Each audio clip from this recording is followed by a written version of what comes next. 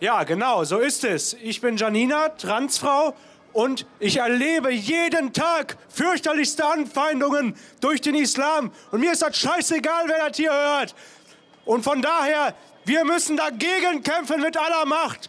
Weil ich habe es gesehen. Ich war unter anderem in Cordoba. Da läuft noch der ganze Trott herum. Ich muss mich wirklich zusammenreißen, dass ich hier niemanden beleidige. Aber die Hauptfeindesgruppe von sexuellen Minderheiten, man hat es ja, wann war es, in Münster, glaube ich, auf dem Christopher Street Day, hat man gesehen, es sind die radikalen Muslime. Und das muss offen angesprochen werden. Und ich hoffe, dass es Millionen Menschen heute sehen, was ich sage.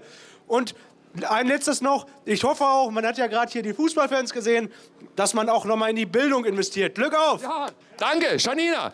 Wirklich, wir sind solidarisch an deiner Seite. Ja, mein, einer meiner Brüder war selber schwul gewesen. Ja.